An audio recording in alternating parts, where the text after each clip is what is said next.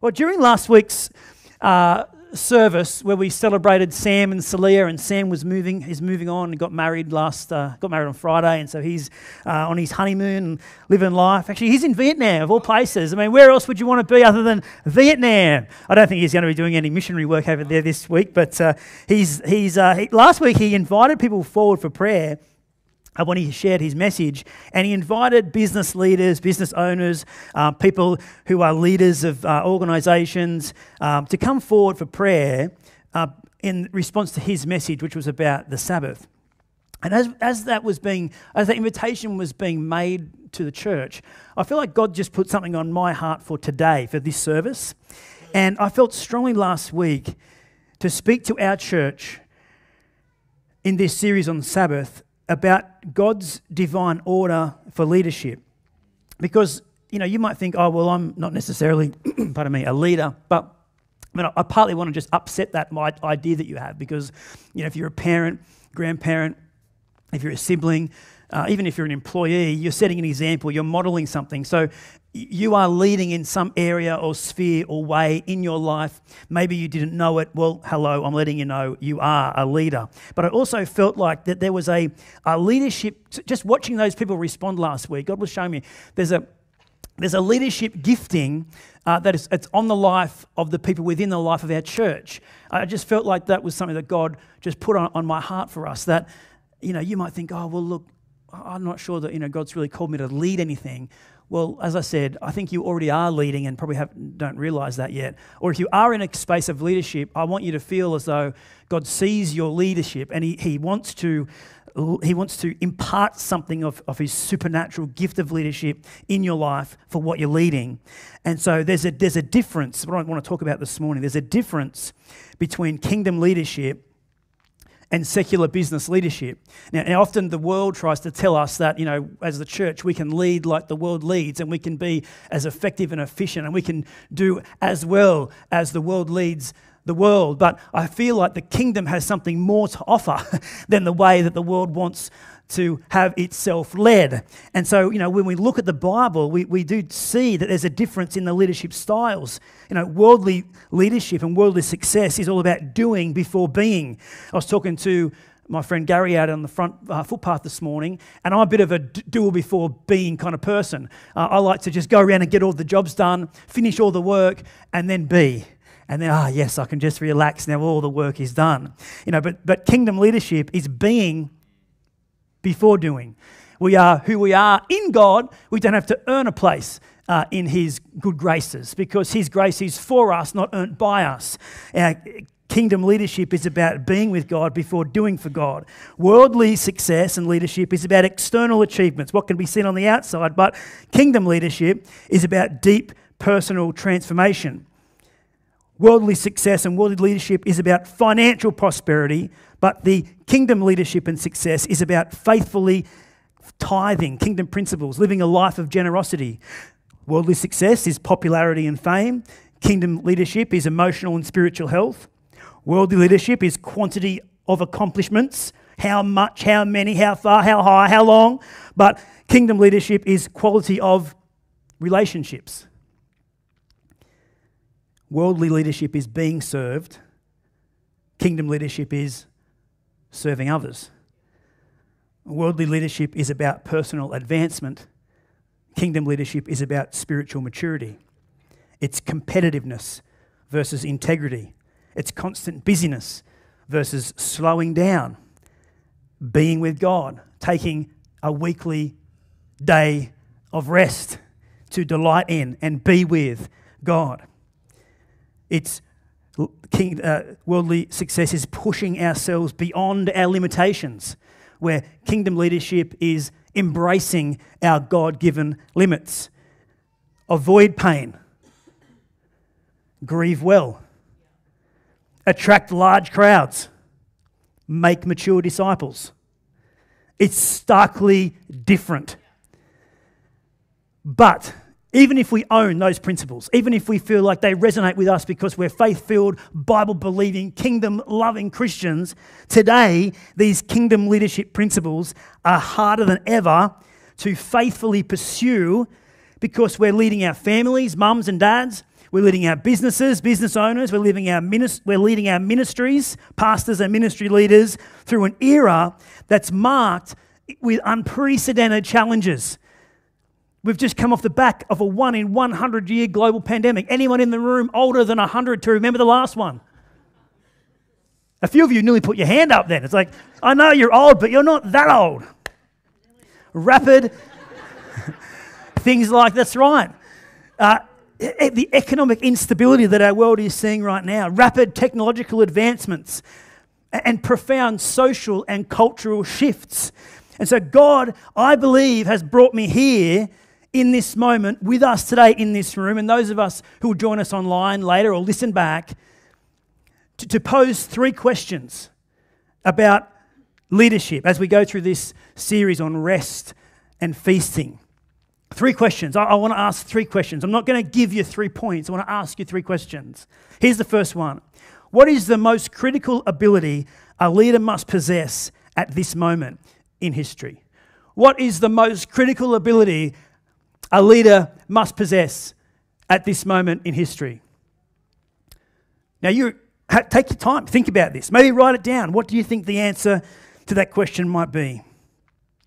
And I'm, I would suggest that the most critical aspect of leadership in our world today is this, and it's the title of the message this morning. It's the superpower of self leadership. It's the superpower of self leadership. The most critical leadership lesson to master is the leadership lesson of leading you.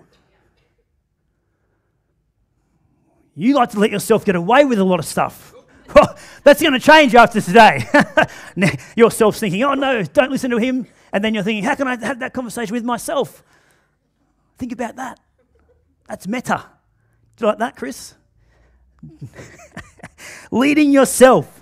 1 Corinthians, this is, what the Bible says. 1 Corinthians chapter 11, verse 1 says this. It says, Paul speaking to the church in Corinth, he's trying to change some attitudes in the church. And he says to them, hey guys, you should imitate me. In other words, I want to be your leader you should imitate me as I imitate Christ. Imitate me as I imitate Christ. That's what Paul's saying to the church. It's what we would hope we would be able to say to each other. As I am like Jesus, be like me. I want to help you go where God's called you to go, so I'm going there with you. Come on with me. I want to lead you with me to where I'm going to be just like Jesus. Being a Christian leader in your family, in your workplace, in your school, in your university, anywhere in your life, your friendship circles, is first about being a follower of Jesus.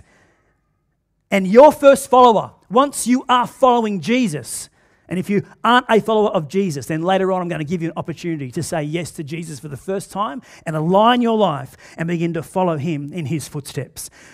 But if you are a follower of Jesus, the first person that you are going to need to lead is you.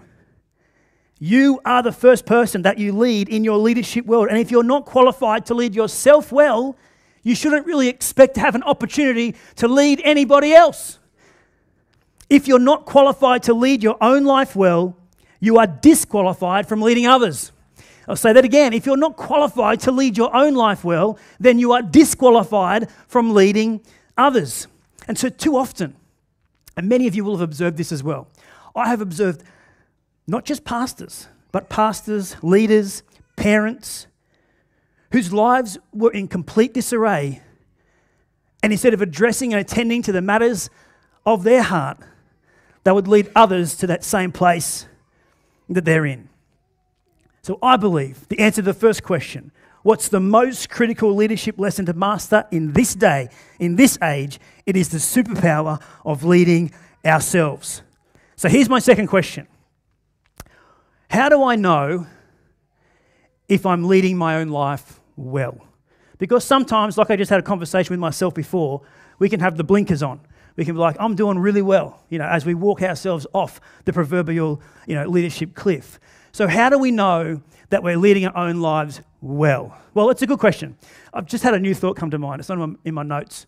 Should I say it? Mm, okay. So,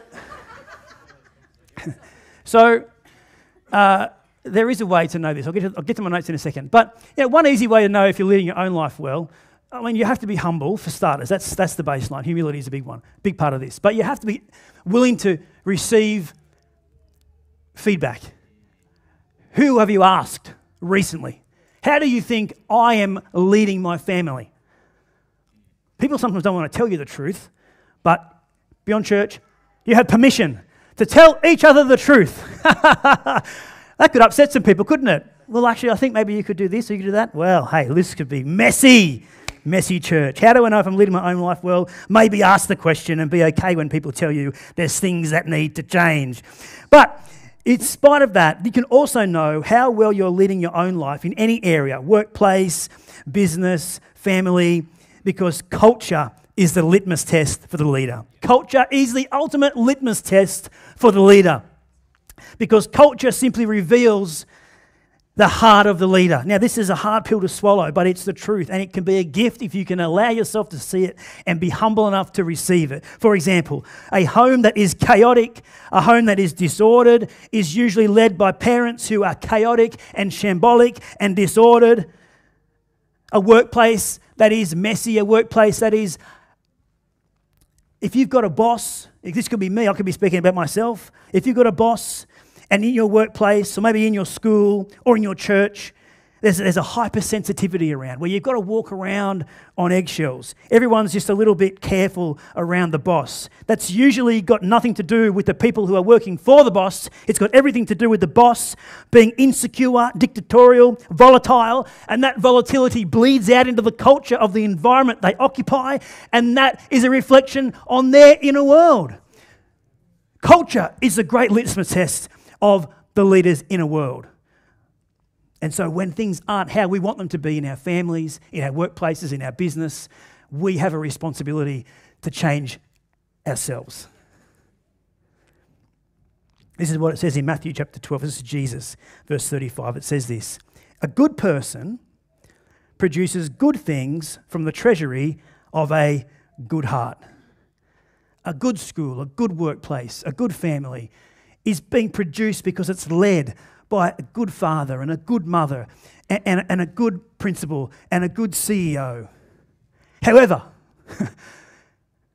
an evil person produces evil things from the treasury of an evil heart.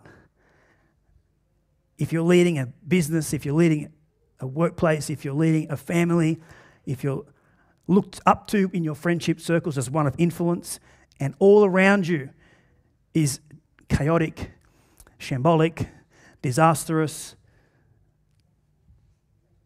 Uh, let's look inside before we start to change the world around us.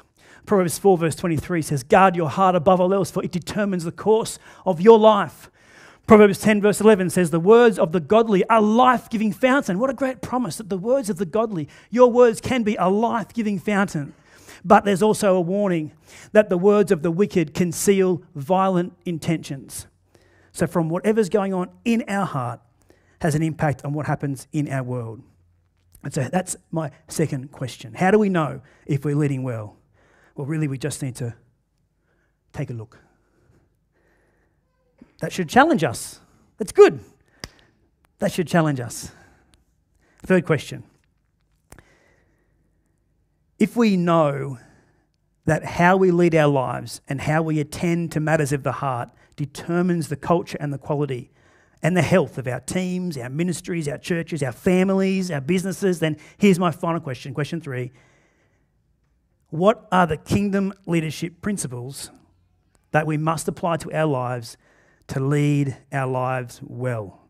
Now, in this series on rest, and feasting, we have talked quite practically about a lot of kingdom principles. And I'm going to do it again this morning because I, I, I know that in our current climate, in our current environment, in, in the world that we're in, with those, with those tensions I mentioned earlier, with, with, with you know, rapidly changing technological advancements, um, you know, coming off the back of a one in 100 year pandemic, which has changed, you know, the social and, social and cultural order of so much of our life, that, that there's, there's a season for that, that, and, and an opportunity for us as leaders to, to rise up to be the kind of kingdom leaders that, that we've been called to be, to see change in our world. But I don't just want to leave us with that great idea that, that things can change if we just lead like Jesus. I want to give us more than that. I want us to dial into some, some really practical things that actually move the needle in your life. So that, for me, they fall in, into three um, kind of categories. And if you take notes, now's a good time to get your pen and pencil out. If you don't take notes, I guess you can watch this back later and write it down then. But if you want to see some things change, I believe that these three categories can make all the difference in our lives. And they are daily disciplines, weekly commitments, and seasonal milestones. Daily disciplines, weekly commitments, and seasonal milestones. Number one, daily disciplines. These things make a difference. Underneath this idea of daily disciplines, I've got these three, th- these four areas that really should be attended to. The first one is this our physical bodies. You know, in 1 Corinthians chapter 6, verse 19 to 20, it says that our bodies are a temple of the Holy Spirit. So sometimes we're quite okay to come into church and attend to the temple of God here at church and vacuum the floor, you know, clean the toilets, um, you know, prepare the table, turn on the air conditioner, get the environment of the physical room just right, while neglecting the real temple of the Holy Spirit, our own bodies. I wonder if it's it could be just as simple as going for a, a daily walk, being outside if that's what you like, going for a run, or maybe doing some kind of exercise if you like that kind of thing. We attend to our body as a reflection of how we honor God because our body is the temple of the Holy Spirit, our physical world, our emotional world. Uh, as a church, we've preached before about the idea of words to live by from Life Church in the US, pastored by Craig Groeschel. You can find that online. But it's a it's, a tr- it's the transformative power of declaring biblical truths over our life every single day to help shape our identity, our thinking, and it helps guide our actions to be actions that are full of faith and purpose, as opposed to just living in an emotional world that is a roller coaster of up and down because we're being bartered by messages from outside of our world that are trying to pull us off track and pull us down and discourage us and distract us. But here we have an opportunity every day to declare God's word over our life physical health, emotional health, our spiritual health. You know, are we daily connecting with the word of God? We don't need to read the Bible in a year, but are we just reading the one verse, one Bible verse? Word of the uh, verse of of the day. You know, what was the verse of today? Today it was about the Sabbath rest, wasn't it? On the YouVersion Bible app, the Sabbath rest. That's right. I'll get to that in a minute. Uh, then, spiritual life. Are we praying? And our relational life, how we are with each other every day. Are we accountable to somebody every day for, for meaningful relationship connection? And the Bible says that a, man or a person who isolates himself rages against all sound judgment or all, all wise counsel. So don't be alone, be with people every day. Daily disciplines, weekly commitments. This second category, weekly commitments. Now, this stuff matters. Weekly commitments. What are we doing every week to lead well from the inside out? Well, the first thing I can encourage us to do, and you have all made the decision today to do it, and that's to be in church, to be in Christian community. I mean, I've in my experience, and now that I'm getting older, I feel like I've got more authority to say this kind of thing. But the people I observe who are the most biblically kingdom minded successful are people that prioritize church. They're in church, they're contributing to church, they're sacrificing, they're serving weekly commitments. Church, small groups, life groups, our life groups at Beyond Church, we say, are your lifeboat. It's an area of personal accountability. You can let people know how you're going, where you're struggling, and vice versa. You can be a support and a sounding board for others. Church, small groups, your own personal time. What are you doing to be emotionally filling your tank? You know, taking some time off for restoration with either with yourself or with friends and family? Are you someone who's fun to be around? Are you a leader who people like to be led by? Or are you a leader who just tells people to do stuff and they do it? They're told because they'll think if they don't, they're going to lose their job. Spending a, once a week just enjoying life is going to make you a nice person, a kind person, a fun person. And people want to be led by people who are just good, kind people. So don't be too stuck up. Church, small groups, personal time, and Sabbath. Sabbath. As I've said before, God can do more with six days given to Him than you can do with seven kept to yourself. The Sabbath isn't a rule to follow, it's a gift to be received. It's not a rule to follow. A day off a week is not a rule to follow. Being in church and having time with God, intimacy with God, is not a rule to follow. It's a gift to be received, and it's a gift we decline at our own peril. I don't want to have to, you know, get to heaven and God was like, oh, you did great work, mate, but look what could have happened. Look where you could have been. Look what you could have done if you only had have done less. if you only had spent more time with me in my presence. Daily disciplines, weekly habits, and finally seasonal milestones. And I want to ask you this question. What's what's kind of long term for you? Like what are you looking toward the horizon for? What are you, what are you saying? I, I can see that in the next two or three years or five years. I can see that this is going to be good for my business or my family. I, I can see this for my friendship circle. I can see that in a few years we can do this and we can do that. What, what is it that you're, you're casting your eyes toward that's beyond just the current here and now? And, and what are you doing to, to move towards that? You know, are you the kind of person that wants to invest into, into studying or learning new skills or, or, or building something fresh in your life? You know, it doesn't matter if you're, you know, I, I, I say this to some people and they kind of think, oh, well, I'm old. So, you know, why, why would I look toward the horizon when I'm, you know, I'm nearly 100, as we heard from the front row earlier? Well, looking at the horizon isn't about you.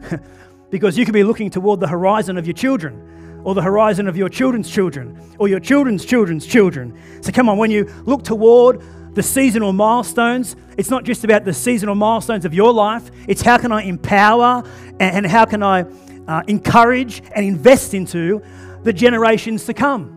Do I, am I the kind of leader that looks beyond myself into the future of not just my destiny, but the destiny of the generations to come? Seasonal milestones. That's kingdom leadership. Have you got a project to build? And finally, have you got a relationship to grow?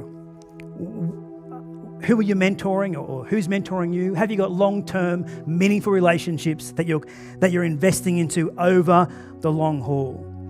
You know, accountability relationships for pressure points in life, the pressure points of lust, greed, addiction, apathy, have you got people that are calling you up to your best? And are you a person that's a safe place to be encouraging that for others? These kinds of relationships are probably not just going to be week to week or month to month, they're going to be year on year, seasonal milestones. You know, you should be wary of the leader who only ever has new friends. Come on, it, you should be cautious of a leader who's doesn't sort of have anyone who's in their corner that's a lot older than them and has been with them for decades. Who's your long term companion? Not just your partner, but who's speaking into you, mentoring you, encouraging you over the long haul.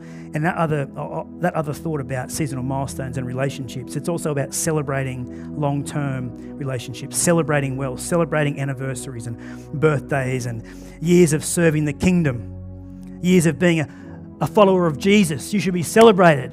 Anybody in the room here has been following Jesus for more than five years? Just raise your hand. You've been a Jesus follower for more than five years? Anyone here in the room been a Jesus follower for more than 10 years? Put your hand in the air. Anyone here in the room been a Jesus follower for more than 20 years? Put your hand in the air. All right. Now, if you don't have your hand in the air, give those guys a round of applause because we're here because they're here. Celebrate seasonal milestones. Good leaders celebrate the things that matter. And I want to conclude by going back to that, that first verse from 1 Corinthians chapter uh, 11, verse 1, Paul to the church in Corinth. He said, Imitate me as I imitate Christ. The most important thing in this season to lead like Jesus is to know Jesus.